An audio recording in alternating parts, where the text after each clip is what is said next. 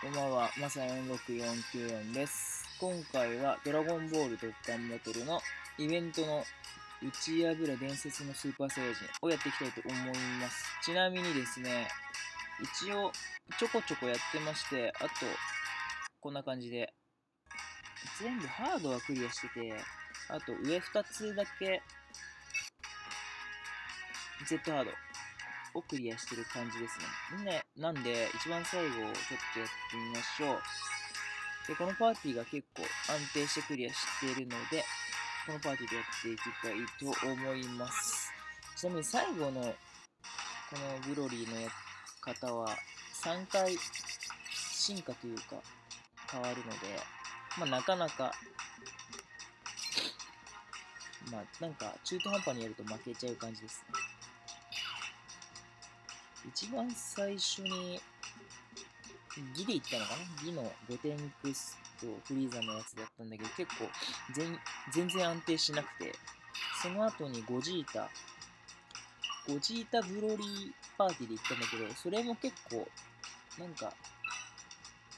アイテム使えばまあいけ、まあ普通にいけたんだけど、まあそこまで安定せず、で、このパーティーは一番わりかし安定しているので、まあ、やってる次第でございます。流れ的には、まあ、この2段階進化目、もうちょっと裏返し、2段階進化目が火のブロリーで、まあ、火というか力か、のブロリーで、これはあんまダメージ食らいたくないので、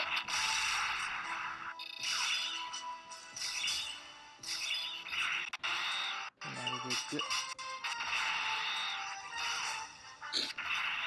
メージがね、えーっと、あそこは弱点属性じゃないと、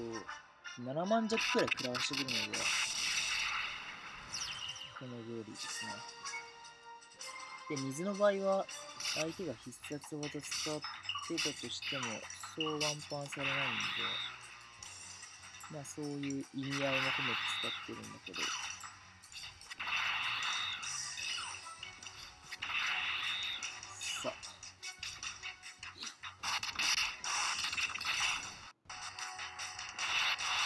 一番ベストが、この2段階ブローリーで、アイテム1回も使わなければまあ余裕でいい感じなんですけど、まあ、ベース的にはいい感じかな。まあ、このベジットが反撃してくれるので、まあ、それもちょっといいよね。しかも、相手が弱点属性なので10万ちょっとぐらい食らってくれるので、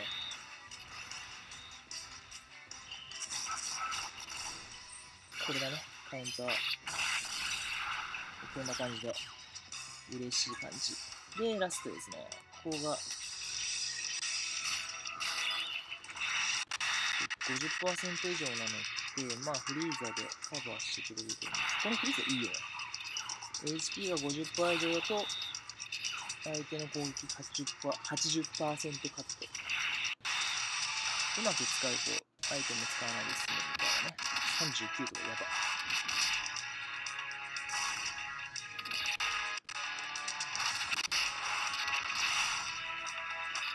まあ、見た感じ、やっぱり、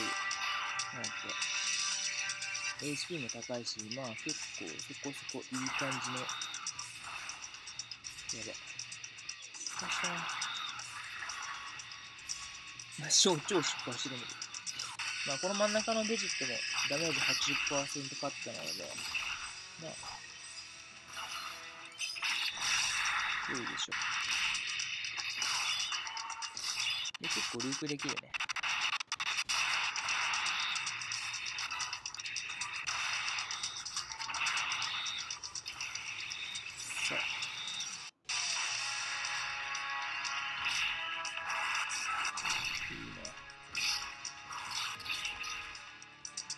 今こんな感じでうまくいくと、アイテム使わないで周回できちゃうので、結構今、運良くて、ブロリーが2体攻撃とかないので、まあ、ラッキーやつですね。まあ、これで OK でしょう。ちなみにここ回ってる理由っていうのが覚醒メダルがあって、3大カメハメハ、今ガチャも来てるんだけど、そのキャラ2体持ってて、すでに。あの、ガチャ引いてないんだけど、マジか。まあ、こういう感じでメダルが落ちない時もあるので、まあ注意ですね。5級と5点のキャラがいるので、まあ、ご飯も欲しいかなと思うんだけど、まあ、そこまでっていう感じなんで、引くかどうかわかんないです。これ、専用のガチャ。はい、ということで、一夜ブレ、伝説のスーパーセージの最後の Z ハードのやつでした。まあ、まだ時間あるので、まあ、最終的に最後の Z ハードまでクリアしようと思ってますが、あと、この手前の5のやつね、このやつもなんかカードが落ちてくれるので、新しい、